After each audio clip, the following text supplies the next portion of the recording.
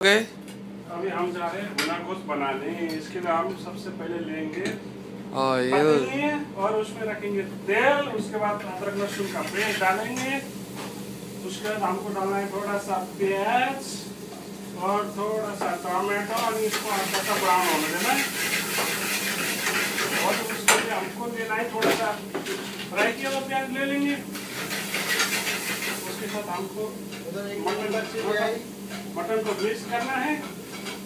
साथ में हमारा दूसरा टेबल का ऑर्डर भी आ गया चिकन टिक्का मसाला वो बाद में करेंगे। इसको रेडी करके हम रखेंगे। हल्का सा ब्राउन होता है उस तरह नहीं मारते थोड़ा वो ऐड करो। वाइट ग्रेवी और टमाटो सॉस थोड़ा सा लेके हल्का सा इसको धीमी आँच में आराम से पीछे बाजू पकाना है सब्ज़ी। पीछे बाजू कैसे पकेगा? राम जी चुप रहो। पवन भाई बात मत करो। आप लोग मत करो हम ये किचन लाइन है कोई उसका नहीं है घर घरों में जाके खेलने की चीज़ नहीं है उसके लिए हम लोग जा रहे हैं मटन कौरमा बनाने मुन्ना भाई ठीक से मारो मटन कौरमा के लिए हम थोड़ा सा व्हाइट ग्रेवी लिए जा रहे हैं। ओके उसके बाद मटन डालेंगे। उसकी क्योंकि हमारा ये मटन कौरमा का ग्रेवी थोड़ा सा ठीक है उसके हमें स्टक लेना होगा। और स्टक के साथ थोड़ा सा पकाया जाएगा थोड़ी टाइम के लिए क्योंकि हमारा मटन भी पूरा पका हुआ मटन है। उसको अंदर तक हमें बिल्कुल गर्म होना देना है। उसके साथ हम लोग का ये एक टेबल का खाना उसके साथ सर जी, आपको एक बटर नान और एक गार्लिक नान हमें देना है। ये आराम से इधर पकता रहेगा तो तब तक हम दूसरा टेबल का एक चिकन टिक्का मसाला है, वो मारेंगे और हमारे साथ किचन में साथ दे रहे राम जी राम जी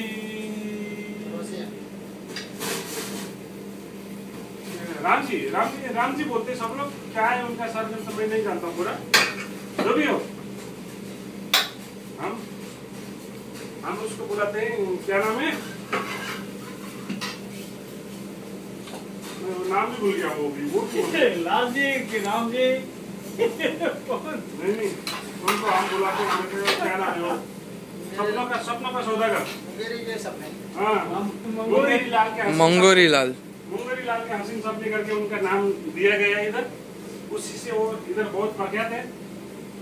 और राम जी, हमारे शेठ जी के बहुत लाडले भी है और अच्छे खाने बनाते भी थे लेकिन आज वो थोड़ा इधर किचन की तरफ़ नहीं है, क्योंकि वो बिज़ी है समोसे में।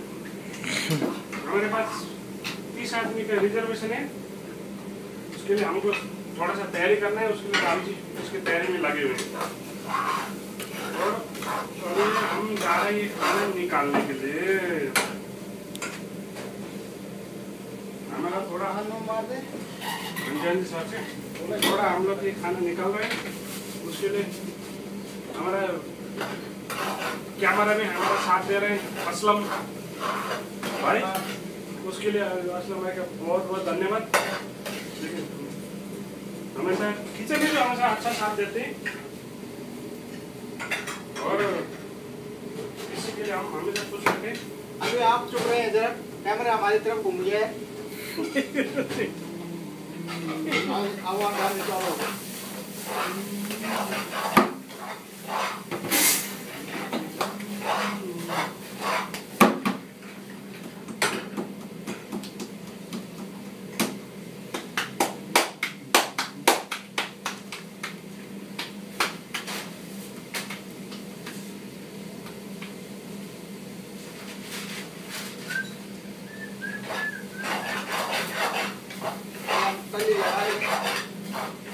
ले। टोटली हो रही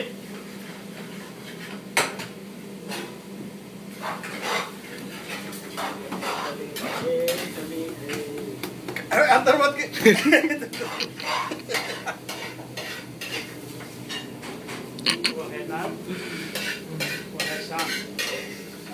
ये है राम जी हाथ में लेके बना रहे हैं समोसा। भाई साहब ये खाने ये देखो हमारे पास खाना रेडी हो चुका है।